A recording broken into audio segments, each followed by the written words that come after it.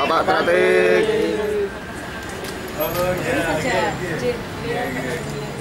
Pak Pratik. Ya lama nggak ketemu ya. Gimana, gimana kabarnya? Ya. Sejak 2008 ya? Oh, iya. Eh? apa, apa, apa? Masih kecil. Masih dong, masih sedih. Ya. Pak Presiden belum bisa besok Pak apa, Prof. Buya Safi'i, jadi saya diminta untuk anu, karena kemarin kita juga kirim dokter kepresidenan untuk adalah mencari tahu. ada ada datang ya dokter Bebet. Ya, Hmm? Saya diperintah presiden bukan wakil presiden ada wakil. Masuk biar masuk. Ada pesan khusus Pak. Kenapa? Setelah dari sana kita Wawancaranya. Iyalah, Iya, Pak. iya. Oh, saya sudah dapat laporan dari dokter Bebet tadi katanya anu, baik-baik. Anu pro anu Bu ya. Alhamdulillah. Walaupun belum besok ya. Ya, kabarin aja. Ya, terima kasih. Yuk, yuk. maju apa pun. Tahan, tahan, tahan. Ah, Tenang, tenang, tenang, tenang.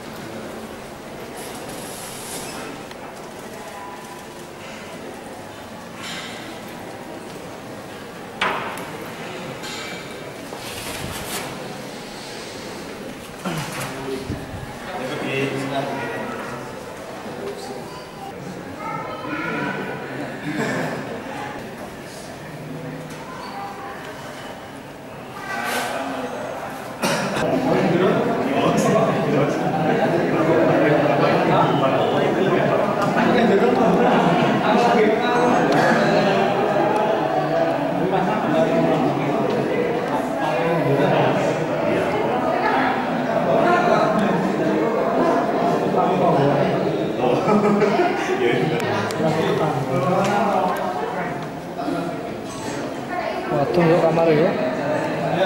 Oh, berarti Maem dulu.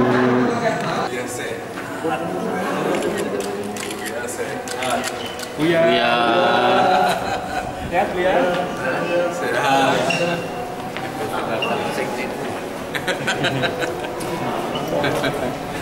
Pak Presiden mendengar Buya sakit langsung kemarin pagi manggil saya dan Pak Teten. Harus segera ini ke sana.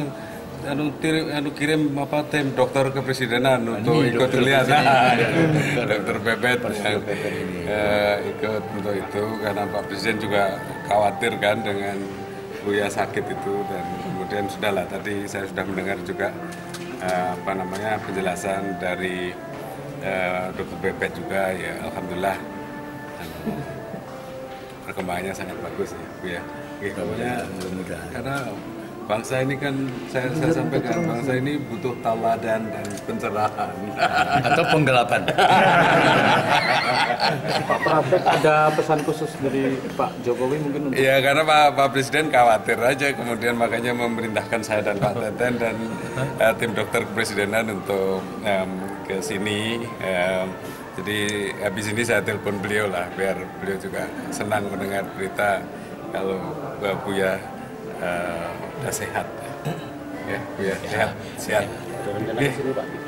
Oke. Eh, belum belum ada. Beliau akan pergi ke kebetulan akan besok Senin akan pergi ke Medan ke Sumatera Utara.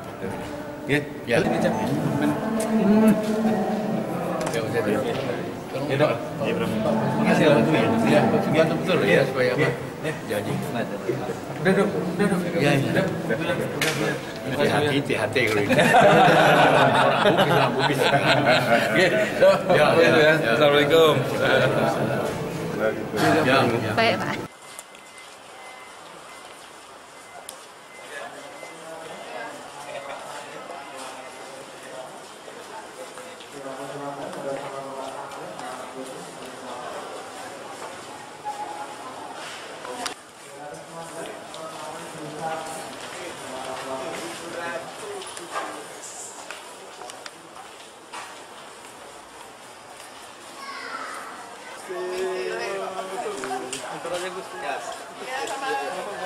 Gimana kondisi komunikasi lancar? Kenapa? Komunikasi lancar, Pak.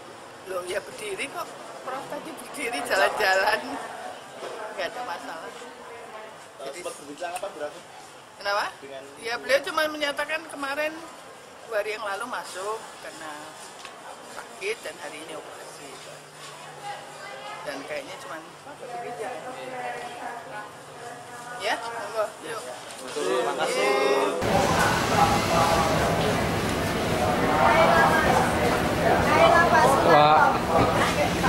Ini apa ini? bertemu dengan tadi.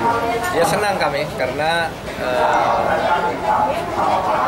tidak ada masa kritis sih karena itu penanganan untuk penyakit yang biasa untuk orang yang sudah sepuh gitu dan di apa operasi batu ginjal dengan ditembak gitu. Clear. Dan sudah sehat sekarang. Ya tinggal pemulihan. Artinya pemulihan pun saya tidak tahu apa yang akan dipulihkan karena beliau seperti biasa aja. Cara berjalan bergurau seperti kami ketemu sehari-hari cuma karena dokter bilang suruh pulang dua hari lagi ya. Tapi alhamdulillah kita sehat dan kita bersyukur. Beliau tidak sampai dibius sampai tidak sadar biasa aja. Biasa. Gitu. Cukup ya? Ada pembicaraan apa? eh, ada.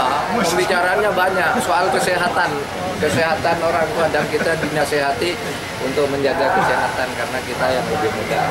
Eh mari pak. Mari pak. Waalaikumsalam warahmatullahi wabarakatuh. Gitu ya